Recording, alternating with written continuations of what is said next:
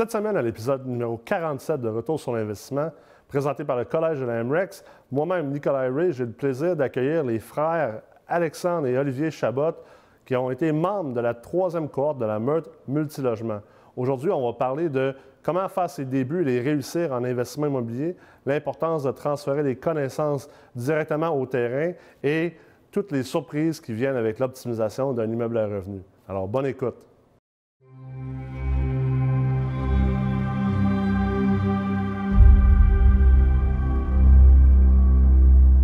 All right, euh, les frères Chabot, euh, retour Yes, sur l'investissement. Yes! Forme? Started from the bottom, now we're here. Yes, commence, Hein? commence à monter tranquillement. C'est bon ça, bienvenue à l'épisode les gars. Merci. Merci de nous recevoir. Bienvenue à l'émission. Yes. Donc, euh, vous venez de terminer euh, la troisième cohorte de la Meurthe. Ouais, ouais. Alors, euh, vous êtes propulsé euh, cinq ans en avant, selon les publicités. Ouais, exact. Ouais. Au moins, honnêtement. Au moins? euh, ouais, euh, honnêtement, je m'attendais à ce que ça soit un gros step-up, là, mais ça a vraiment changé euh, beaucoup de choses. Je dirais, c'est la mentalité aussi, pas juste là, sur les connaissances en immobilier. là. Ouais.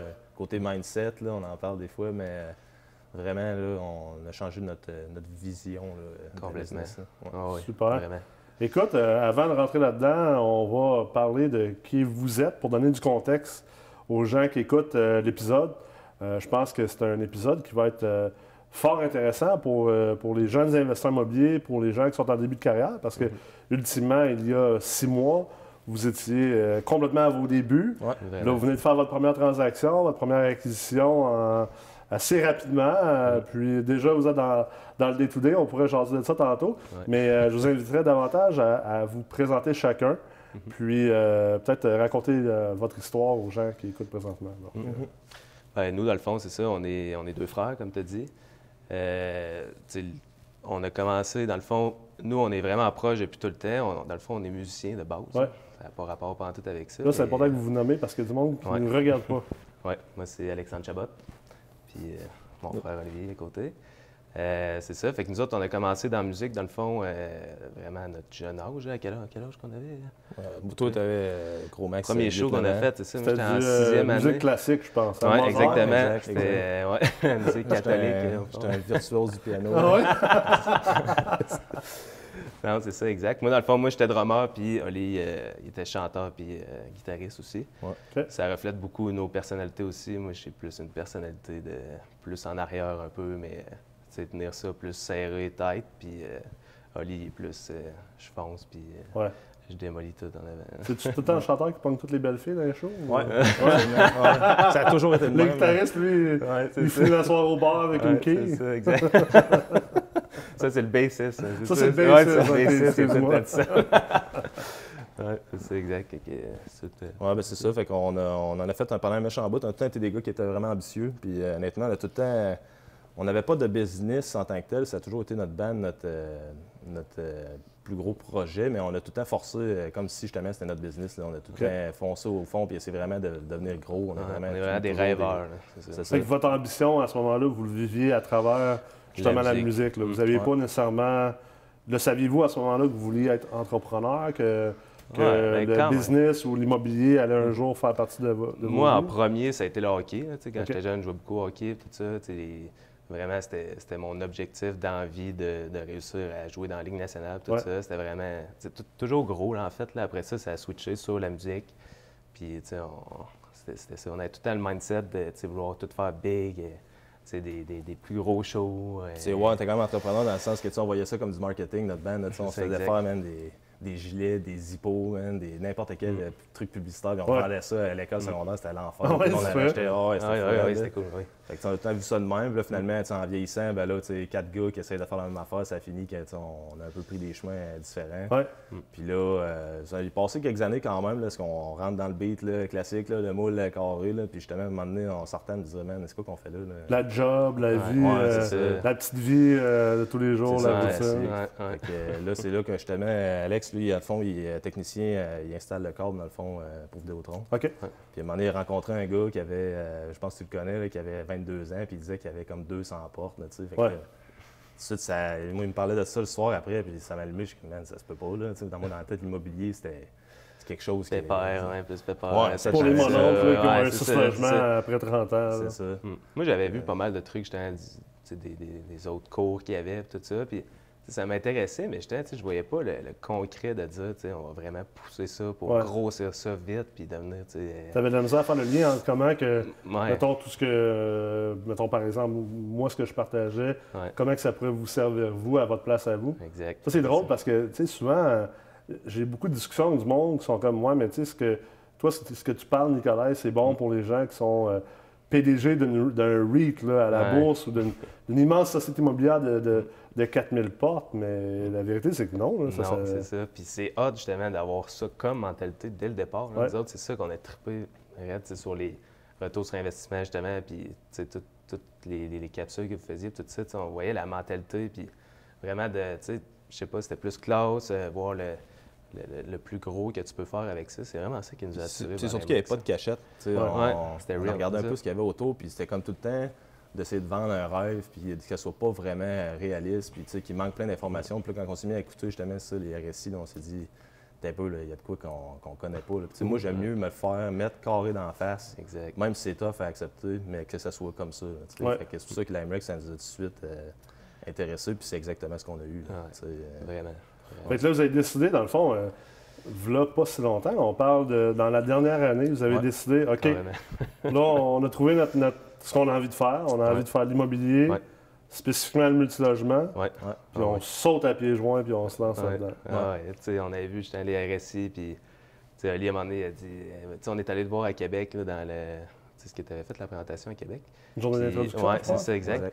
Puis, tu sais, en sortant, on était à la meute, man. Puis, ça, ça a l'air malade, non? on n'a pas le choix. Puis, là, Ali était là, ah ouais, là, c'est sûr que c'est plus cher, mais en même temps, tu, tu coupes sur ta mise de fond. Au début, quand tu n'as pas beaucoup de cash, tu dis, je coupe sur ma mise de fond, mais le, le, retour sur investissement est bien meilleur que d'avoir été à l'aveugle. Comme on faisait au début, on fait ben des offres partout. Euh, plus low ball, puis on savait pas, en tout. Oui, parce que les mises de fond, ultimement, tu peux en trouver partout. Là, puis même si je suis le premier à dire, J'aime ça, c'est de crever la, la, ballonne des gens qui pensent qu'ils peuvent investir en immobilier mhm. sans mise de fonds. Mais quand je dis ça, c'est que j'essaie de, si on veut, de compenser pour les, les, les pelleteurs de nuages qui font rêver à du monde qui sont dans un trou et demi, puis qui ont 20 000 de salaire annuel, puis qui ont des dettes, qui peuvent se sortir de la, de, la misère avec mhm. l'investissement immobilier. Mhm. Mais ultimement, si tu investis dans tes connaissances, si tu investis dans le réseau autour de toi, tu es capable de trouver des mises de fonds éventuellement.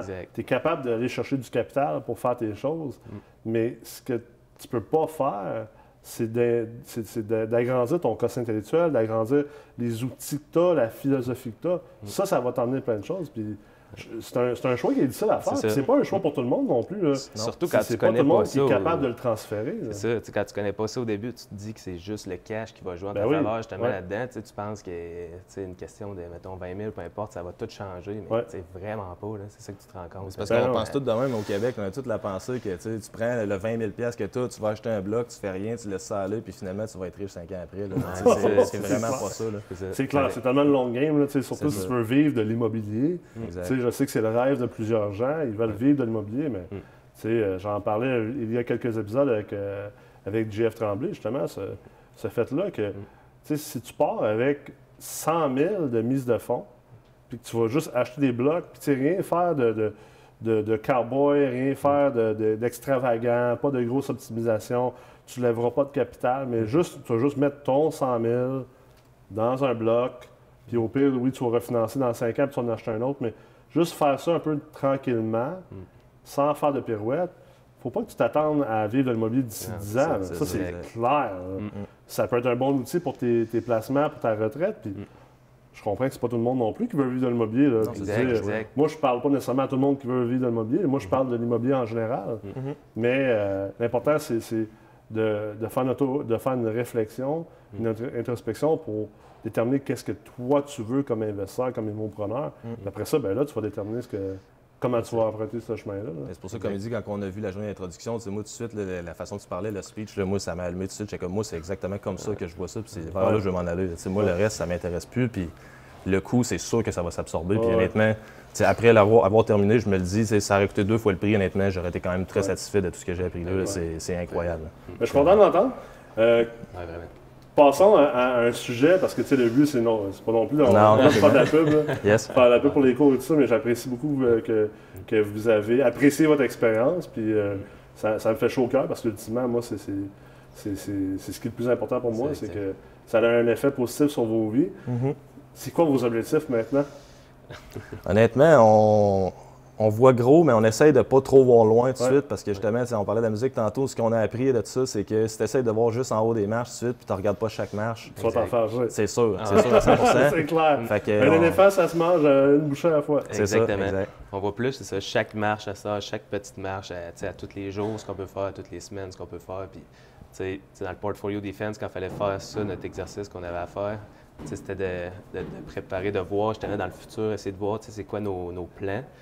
Puis, tu sais, on avait de la misère à cette heure à voir ça, justement. Tu sais, on essayait plus de voir, tu sais, dans vraiment un an ou dans six mois, où est-ce qu'on va être, mais dans trois ans, cinq ans, c'est, Mm. c'est dur à dire, là, avec tout ce qu'on peut faire, là. hein, c'est- Ben, c'est ça.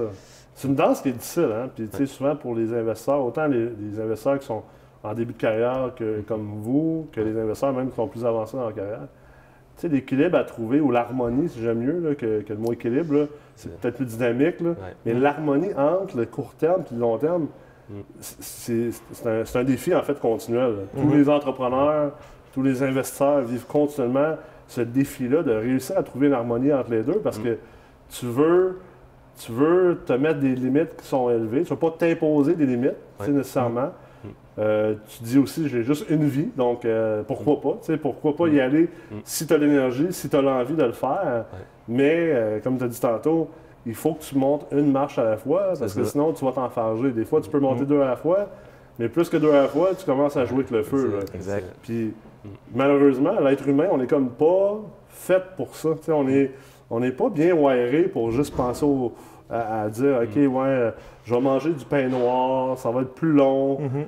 pour arriver là, parce Ouais. qu'on veut tout de suite. On, on est dans un sentiment de, de inabondance, de manque, d'impatience. Mhm. Exactement. Tough à gérer. Mais ça, c'est c'est justement, on l'a déjà vécu, là, ça, de manger du pain noir, tout. Ouais. là, tu sais, moi, euh, Ah ouais. on est parti de- du plus bas que tu peux aller, puis on remonte tout. Là, fait que après ça, le reste, ça te fait plus peur. Là, tu fais juste y aller, regarde, la, marque, la prochaine marche que j'ai à prendre, c'est celle-là. Puis Tu le fais, puis c'est tout. Là, tu sais, faut Mais pas, euh, pour répondre à ta question, tu sais, nos ambitions sont quand même grandes. Puis, tu sais, comme avec notre premier projet, tu sais, on est allé plus all-in d'une Ouais. shot avec un gros projet, puis Ouais. pas euh, y aller mollo. tu sais, on- une grosse optimisation c'est- c'est complète. Gros stress là. tout, Ouais. mais c'est là que tu apprends. C'est Ouais. terrain de même. à- à C'est quoi justement la transaction? Parce que là, dans le fond, vous avez- c'est votre première transaction, Ouais. immobilier multilogement à vie. Ouais. Vous l'avez fait en dedans de, de votre, de votre six mois de la, de la meute. Yes. C'est c'est quoi la transaction? Euh, Est-ce que vous voulez le partager un petit peu avec les Ouais, gens qui ben, en fait, c'est un 6 logements euh, qui est sorti à Limoilou, à Québec. Euh, Au départ, on a embarqué là-dedans juste les deux ensemble. Puis euh, on voyait vraiment un gros potentiel. Là, pourtant, quand tu le regardes sur papier, c'est pas nécessairement un gros deal. Si tu regardes les revenus actuels versus Ouais. le prix, euh, ça avait l'air quand même cher. Mais euh, nous, justement, on voyait vraiment le futur, ce qu'on pouvait faire avec ce- cet immeuble-là. Fait qu'on a embarqué là-dedans. Puis en cours de route, il y a des personnes avec qui on commençait à, à se voir souvent, là, des partenaires potentiels, qu'on s'est rendu compte que d'autres aussi avaient rentré dans le deal. Ah ouais, Ouais. vrai? Ouais. Fait que euh, là, euh, dans le fond, on était tombé, on n'était pas premier sur la première offre. Puis finalement, quand on a vu qu'eux étaient là, ben, on a comme refait une offre avec euh, les quatre ensemble. Fait qu'on s'est dit qu'on avait un pouvoir de plus euh, côté force d'emprunteur, ben, c'était une Ouais. succession. OK. Fait que là, C'est le même qui était à vendre sur Centris, qui était Ouais. à vendre en marché? On l'a vu à une retraite, c'était à la retraite à Estérel, là, le dimanche quand Ouais. on était à la retraite, on a vu ça sortir, puis on a fait un offre le dimanche soir. le soir dessus. même, euh, Ouais. l'offre était rentrée. là. Oui, c'est ça. Que- ouais, c'est ça. Puis, tu sais, en plus, les trucs de succession avec euh, Mathieu Aubry qui nous apprenait, tu sais, c'était ce jour-là qui nous avait appris ça. Ah ouais. Puis on savait même pas, en fait, c'est qu'on on a fait l'offre, tout était bon déjà. Puis là, après ça, quand on a parlé à notre courtier, là, il dit Ouais, les gars, c'est une succession. Puis, là, voyons, on Ah, comme avoir l'opportunité. On a la chance d'appliquer ce qu'on vient d'apprendre. Exactement, le Exact. jour d'avant. ouais. Fait qu'on est rentré là-dedans. Finalement, on l'a payé plus cher que le prix demandé. Puis euh, honnêtement, on l'aurait payé plus cher que ça, mais on l'aurait acheté pareil. Ah ouais, là, tu sais. Ouais. Fait que, fait que Yeah. quand je disais que les chiffres, tu les regardais là, ça avait l'air cher, mais tu pouvais en payer encore plus cher parce que c'est juste que l'immeuble n'avait pas été bien géré, il n'avait pas été assez optimisé au niveau des revenus. Fait que tu avais l'impression que c'était cher, mais en tout cas, il y a un méchant potentiel d'augmentation. Fait que là, c'est sûr qu'on est dans la grosse optimisation là, Ça, en- rénovation en rénovation complète. complète. là, ouais. Rénovation complète de l'immeuble, Ouais. hôtel et logement, Ouais. espace Ouais. commun. Exact, Ouais. tout. Au complet. Puis on essaie de, de canner ça là, pour que d'ici le mois de novembre, là, on repasse au refinancement. Puis euh, ça. Après on passe à d'autres choses. Bon, on en a déjà d'autres aussi, en- d'autres projets qui vont probablement commencer euh, prochainement assez vite. Ouais. C'est quoi l'affaire qui, euh, mettons, euh, vous auriez recommencé d'un matin comme investisseur nouveau?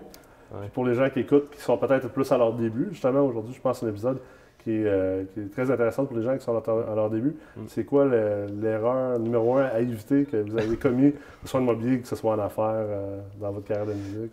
Mais la date, c'est sûr que si on parle du moment présent, c'est vraiment euh, la négociation avec les locataires. là, Ouais. Mm. on, se pensait vraiment hot, là, tout, mais là, on s'est rendu compte que il faut vraiment que tu t'adaptes aux locataires que tu as en face de toi. Il ne faut, faut pas que tu les mettes tous pareil. Là, dans le fond. Il faut vraiment que tu étudies bien c'est qui, que tu fasses des recherches sur c'est qui aussi. Tu sais, ça, on l'a pas fait. Là, on se disait. tu sais, On, les avait catégorisés un peu, toute la gang, mais dans le fond, lui qu'on pensait qu'il allait être le moins pire, ça a été le pire finalement. Ouais. Puis si on aurait cherché un peu sur Internet, on aurait trouvé ça. Fait Mm. c'est important quand tu as des nouveaux locataires de faire ton due diligence et tout, mais c'est important aussi quand. Parce que là, on parle, négociation. exemple, dans le fond, c'est- c'est des. euh, vu que vous faites une grosse optimisation, Mhm. vous augmentez normalement la valeur de l'immeuble, dans le fond, euh, vous avez une négociation à faire pour que certains des locataires, ou même tous les locataires, décident de s'en aller vers d'autres vers d'autres immeubles. Exact. Exact. Puis lui, vous pe- pensez que c'était lui qui pensait que plus ça allait être le plus facile. Ouais. Finalement, ça a été le pire des Ah pires. ouais, Ouais. ouais, vraiment. là. Une simple recherche Google, vous, vous l'aurez Ouais. vous l'aurez averti, mais Ouais. finalement, Mm. vous avez fait votre recherche Google après. Après, Effectivement. quand on s'est rendu compte avec qui on avait affaire, on a commencé à chercher. Puis là, c'est là que. Ben, on disait tantôt qu'on fonce dans le tas, mais c'est ça, on a foncé. Puis là, dans ce cas-ci, on aurait peut-être dû prendre le temps quand même de plus se préparer. On avait des bonnes stratégies, Ouais. mais euh, c'est ça, on l'a pas assez bien. Dans la découverte de chacun des locataires, vous avez, été un peu plus vite. C'est ça, Exact. finalement, c'est- bon qu'on en parle parce que, tu sais, on en parle beaucoup sur Internet, les gens en parlent dans les forums, euh, t'as plein de gourous qui partagent leur- leurs opinions de « Ah, dans le fond, l'immobilier, c'est facile, j'achète un bloc, je mets tout le monde dehors, je rénove, je refinance, je ressors ma mise de fonds, puis je rachète. » C'est comme si c'était juste euh, Ah, une recette magique hyper facile à faire. Mais là, vous, vous avez vécu la réalité de, de la théorie au terrain. Ouais. Puis, tu sais, moi, je le dis souvent aux gens, là, le terrain, euh, c'est le fun en théorie de dire sur Facebook euh, que j'achète des blocs, je mets tout le monde dehors. Mais aller le faire en personne, vous avez appris, c'est Ah quoi, ouais. là? Ah ouais, c'est tough. complètement C'est tough, hein? Ah ouais, Surtout si tu réussis pas bien en partant, après ça, c'est de rattraper ça, c'est encore plus compliqué. Là, Ouais, fait que, finalement, se on va bien s'en sortir. fait, là, ouais, c'est c'est ça. ça. Puis quand tu calcules bien tes affaires aussi, il y a moyen de s'en sortir, là, mais c'est sûr que. Ouais, ça, c'est la première c'est- affaire. C'est ça. C'est- du gros stress. Puis tout ça, le monde sont, sont Ouais. peut-être pas prêts à ça, là, des fois. Que l'optimisation, la grosse optimisation, vraiment, que c'est tout en même temps, on rénove tout. C'est- gros. Parce que c'est un mélange de tu veux être empathique, tu veux avoir de la compassion. On s'entend, c'est des, des locataires, c'est des clients, c'est des êtres humains, c'est des gens, on, on veut leur bien. Si tu voulais pas leur bien, tu peux pas. euh, tu peux pas investir dans l'immobilier. En tout cas, moi, je pense Ah, pas. Là. Tu peux pas investir dans l'immobilier si tu veux pas le bien de tes locataires, puis tu veux Mhm. pas le bien des gens. Mhm. Euh, des fois, tu as des locataires qui sont peut-être pas à la bonne place. C'est- pour leur bien qu'ils s'en aillent Mhm. à la bonne place. Puis si tu peux les aider à faire ce move-là, parce qu'il y en a des fois, euh, je pense que vous, vous avez même parlé de- locataire ou une locataire que finalement, si c'était ce genre d'exemple-là, était locataire dans cet immeuble-là, puis finalement, ben, suite à la négociation pour qu'elle quitte, c'était pas c'était-tu Ouais, vous ça. autres ou c'était Ouais, quelqu'un avec, d'autre euh, main? Non, c'est ça. Ben, que tu veux dire qu'il est resté finalement Ouais, avec un ouais. bail plus cher. Oui, c'est ça. Ouais, Exact. ouais. C'est- c'est- Ben, ça, il y en avait un qui voulait vraiment rester, puis euh, son logement, lui, dans son cas, il était vraiment, était déjà pas rénové comme on veut faire les autres, mais il était déjà rénové quand même, puis il était grand. Fait que, mais tu sais, son loyer était vraiment de loin inférieur au marché. Là, Ouais. Fait que on- c'est sûr qu'on a donné une bonne augmentation. Mais finalement, on a quand même rajouté des services dans notre augmentation pour essayer de compenser la personne. Puis finalement, ça a super bien fini. Là. Euh, Le locataire était super content. Puis- lui, il décide de rester parce qu'il Ouais. voit que dans le fond, euh, il va avoir une meilleure qualité de vie, ultimement. Ça, Il est prêt à payer plus cher. C'est ça. Puis il voit le ça. projet qu'on veut faire dans l'immeuble. puis Lui, Ouais. il est vraiment content de ça, qu'on refasse ça, qu'on, l'insonorisation, tout aussi. Là, lui, c'est vraiment positif, ça, pour lui. C'est sûr qu'il y a un petit, euh, le temps des rénovations, que ça va être plus tough. Mais Ouais. C'est ça aussi, quand on dit qu'on veut être euh, correct avec tout le monde, on lui a accordé justement des rabais aussi pour cette période-là. Question que lui, ben, ça, il va avoir un peu de désagrément, mais en bout de ligne, ça va quasiment rien coûter pendant ces trois mois-là. Fait que Ouais. ça. ça passe bien dans Parce ce que tant aussi longtemps que tu restes dans la période avant d'acheter un bloc, on est dans les chiffres, on est dans la brique, on est dans l'analyse. Mm. Mais les gens oublient à quel point que une fois que tu as l'immeuble, Ouais. une fois que tu l'as, c'est une job humaine. Ouais. C'est de dealer avec des êtres humains. là. C'est plus de dealer avec la brique. là. Mm. Tu deals avec des êtres humains. Puis même quand tu deals avec la brique, ça veut dire que tu fais des rénovations, tu fais venir des, des entrepreneurs et tout ça, ben, tu finis par aussi avec l'être humain, là, parce Ouais, que dealer des entrepreneurs généraux, euh, gérer euh, justement des différents corps de métier, c'est Mhm. c'est tout du relationnel. Mhm. C'est pour ça que c'est pas un investissement pa- passif, l'immobilier, Non, multilogement. là.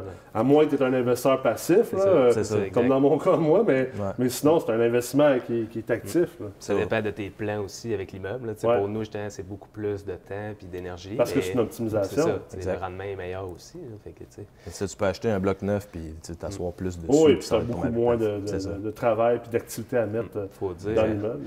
Le partenariat aussi là-dedans, les deux personnes qui sont avec nous, c'est, Ouais. ont déjà une coupe de blocs. Là, fait que, on a profité de, de ça. On s'est dit, c'était un gros projet en partant. On s'est dit, on, on pourrait rentrer du monde avec Ouais. nous qui ont plus d'expérience aussi pour. Mm. En tout cas, moi, je trouve que ça, ça a vraiment aidé. Puis vraiment, le partenariat pour vrai. Ouais, ça, faut pas sous-estimer la force du partenariat. Il faut bien Ouais. choisir ses partenaires. Dans Ouais. notre cas, honnêtement, à date, ça va vraiment super bien. Même là. dans les bouts de tough. tu sais, C'est ça, on les a bien choisis, puis c'est sûr que c'est une plus-value pour Mm. nous autres. là. Vraiment.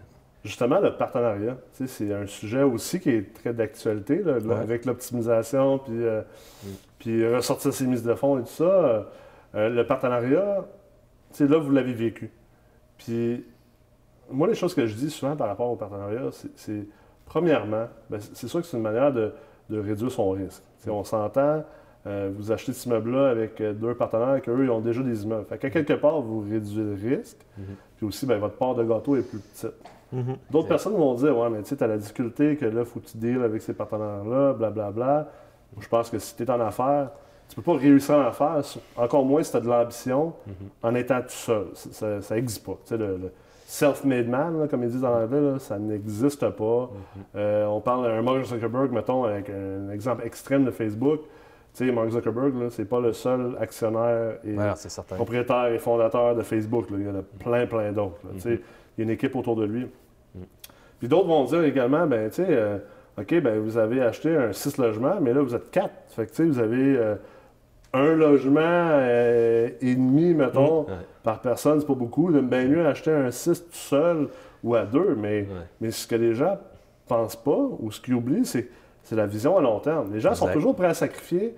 Les gens sont jamais prêts à sacrifier le court terme pour le long terme. Puis ça, c'est c'est un, c'est un thème qui a été très omniprésent dans les derniers épisodes de Retour sur investissement. Mhm. Mais l'importance de- d'être prêt à sacrifier peut-être euh, du profit, de la rentabilité, euh, la, de la gloire, puis, puis- Mm. puis tout ça à court terme pour atteindre son, son vrai objectif, être patient par rapport à ça. Puis ce que je trouve bon là-dedans, c'est que peut-être que vous auriez pu acheter le 6 juste à vous deux, mais que là, vous avez acheté 6 à vous quatre.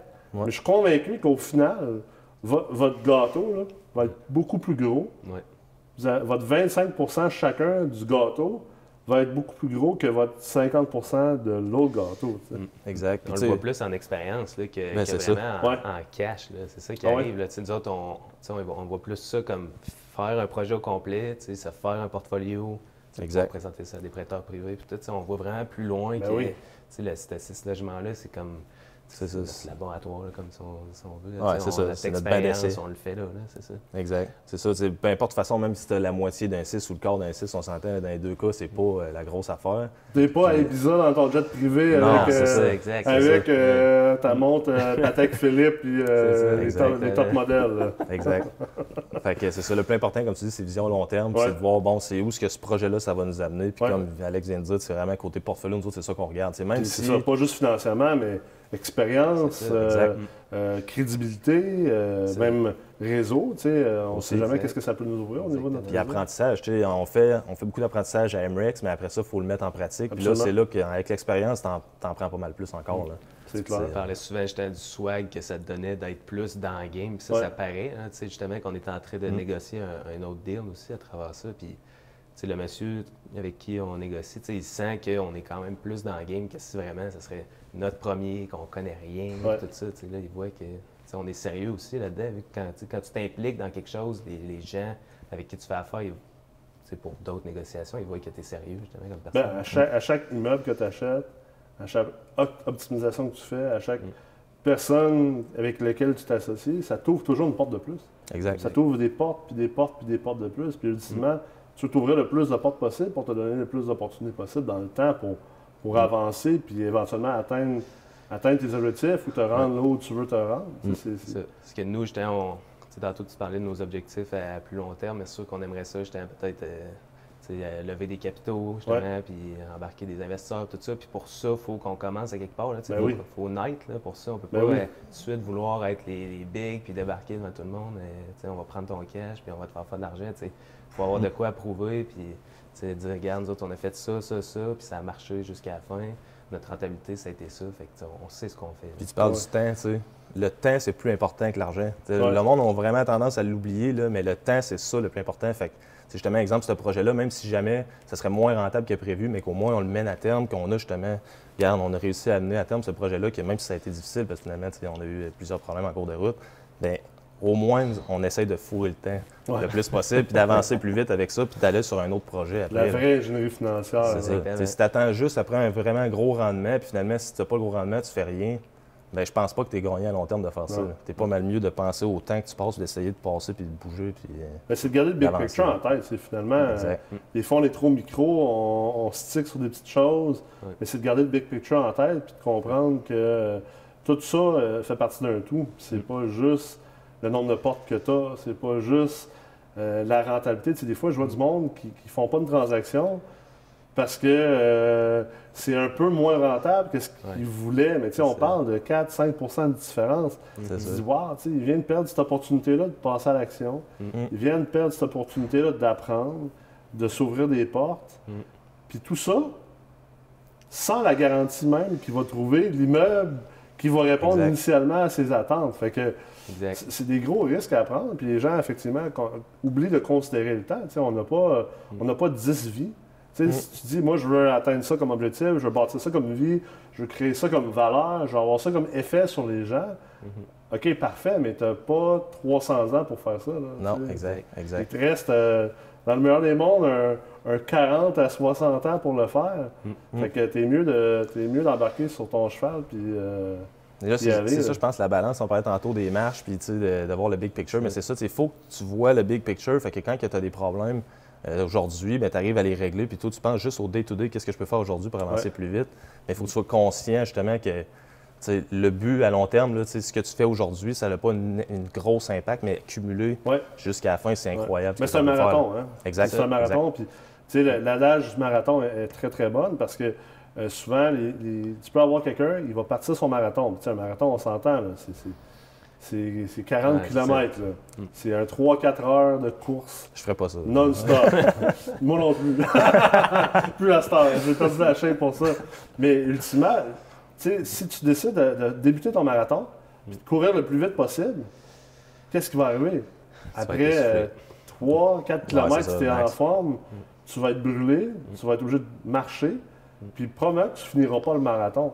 Fait qu'il faut que tu te crées un espèce de. Là, on appelle ça un pace. Il faut que tu te paces pour dire OK, je peux pas courir à 100% pleine vitesse parce que je dois garder en vue que j'ai 40 km à faire. J'en ai pas 4 à faire. Exactement. Puis je pense que ça, c'est probablement une des plus grandes erreurs que les gens font, surtout les débutants, les gens qui, qui sont à leurs premiers investissements. C'est qu'ils sont dans l'investissement immobilier, là, puis ils veulent gagner le marathon dans les 4 premiers kilomètres. C'est ça, Exact. exact. Puis qu'est-ce que ça fait? Bien, ça fait que finalement, tu te rends même pas à la fin. Mm. Tu n'as même pas fini le dernier, là. tu t'es juste même pas rendu à la fin, tu n'as pas fini le marathon. Là. Mm. C'est marqué DNF à la fin, did not finish. C'est pas marqué 500 sur 500. là. Non, c'est ça. Did not finish. T'es même pas le dernier. Tu n'as Mhm. même pas terminé ton marathon parce que tu as voulu aller trop vite. Tu as voulu courir trop vite. Mhm. tu n'as pas voulu te pacer. euh, puis, tu sais, l'exemple est, est simple. La personne qui ne veut pas s'éduquer, la personne qui ne veut pas s'associer avec d'autres parce que, ah, moi, je veux un 6. Je veux pas 25 ou 50% d'un 6. Mhm. La personne qui veut pas faire affaire avec un, avo- un avocat en droit locatif. La personne qui veut aller faire ses incorporations, tout ça. C'est tous des exemples de. Tu sais, ça revient à ce que j'ai souvent. là, la meilleure manière de perdre une coupe de, de perdre 100 000, c'est de de 1000. chipper sur 1000 ou 2000 ou 3000. Ben, Mm. La meilleure manière de pas gagner un marathon, puis même de pas le finir, c'est d'essayer de le courir comme si c'était un sprint de 100 mètres, ultimement. Exact. Exact. Mais on veut tout faire ça. tu sais. Ben Euh, oui, Inconsciemment, on veut tout faire ça, mais la clair. différence, c'est ceux qui, après s'être pété la gueule deux, trois fois, ça, ils disent Bon, ben, je vais apprendre, puis là, après ça, je vais voir plus loin. Ouais. c'est eux qui vont finir par réussir. je vais courir un peu moins vite parce qu'il faut que je cours pendant 40 km. là. Exact, exact. C'est dans les derniers kilomètres que ça se gagne, pas dans les premiers. là. Exact. Exactement. C'est ça, les, les- les- les- les débutants le comprennent souvent mal Mm. parce qu'ils ne l'ont pas encore vécu. Puis on essaie de faire en sorte qu'on leur partage cette expérience-là pour pas qu'ils aillent à le vivre. là. C'est- Mm. C'est ça, c'est ça, mais c'est vraiment le terrain qui fait en sorte que Ouais. tu vas devenir plus habitué euh, à te faire ramasser si on veut. Nous autres, justement, la- de- dans l'immobilier, on, on- on est plus habitué, on dirait, à recevoir des mauvaises nouvelles à cause de tout ce qu'on a fait avant. C'est comme, si tu n'es pas habitué à ça, pour à dealer avec ça, le stress, tout ça, tu, Ouais, ça va pas être heureux. mais il faut que je tu pense, commences hein. mollo, sais. Ouais. Si, si tu n'es pas habitué à ça, commence mollo, vas-y. C'est ça, il faut Ouais. que tu t'entraînes parce que c'est une question de perception. Ça. La perception, c'est quelque chose qui s'entraîne. Puis, tu Mm. sais, euh, veux pas en entrepreneuriat, en immobilier. Mm. La raison, une des raisons pourquoi tu, tu- tu finis par te bâtir une valeur financière, Mm. c'est que tu crées de la valeur, puis tu gères des problèmes, puis tu es un solutionneur. Exact. À chaque problème qui arrive, si en partant, ta perception, c'est Ah, pas ça. Ah, ça ne tente pas de dire ça. Ah, c'est plate, c'est désolant, c'est malheureux. Mm. Tu pourras jamais réussir à bâtir de la valeur puis créer des solutions parce que tu y vas de reculons puis tu y vas euh. Avec, euh, avec un esprit à la base qui est négatif. là, ça ne fonctionnera pas. là. Ou si tu veux vraiment rentrer en investissement, tu peux être investisseur passif. Justement, c'est peut-être ça ton profil. Ben, c'est bien correct. Rendu Sauf quelqu'un qui, lui, va faire le reste. puis- C'est clair, exact. Dans ce temps-là, ben, mais- trouve, un investi- trouve un cheval, euh, C'est ça. trouve quelqu'un qui tu as confiance, puis tu sais qu'il est capable de dealer avec ça, qui est capable de créer des solutions, Mm. puis de gérer des problèmes, puis de bâtir de la valeur, puis euh, au pire, euh, tu associe-toi avec cette personne-là, mais Exact. ça revient à se connaître finalement aussi. là. Exact. Exact. Cool. Ben écoute, je pense que vous êtes euh, vraiment bien parti. Vous avez euh, du pain sur la planche en ce moment par Ouais, rapport à mal. votre optimisation. J'ai hâte de voir ça euh, Yes. dans son entièreté. Puis euh, je vous souhaite beaucoup de succès. Je suis Merci. convaincu que, que vous allez bien réussir dans le futur. Yes. Merci beaucoup. Salut les gars. Alors, comme vous l'avez vu, faire ses débuts en investissement immobilier, ça nécessite beaucoup de patience, beaucoup de persévérance et la capacité de savoir quand s'entourer et quand se former. Alors, je vous invite à revenir la semaine prochaine pour encore un autre épisode de Retour sur l'investissement. Et d'ici là, je vous invite à aller voir le site Internet de la MREX à www.mrex.co. Merci beaucoup.